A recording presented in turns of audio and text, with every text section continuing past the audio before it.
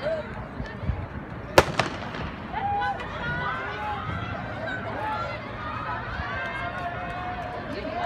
the award stand, the girls 12x200 relay team. In third place, team from Taylor, Adobe, Jones, Stone, and Emmons. Second place, the team from George Ranch. Light, White, Wood, Weatherly. And in first place, the team from Lane Dawson, Woodley, Palmer, and Field. Congratulations.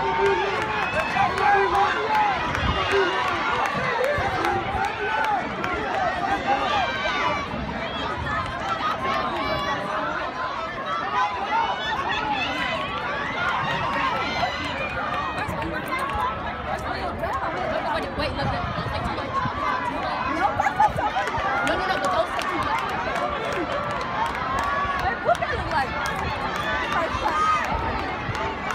All participants are 400 meter dash and will check in on second call, 300 meter hurdles.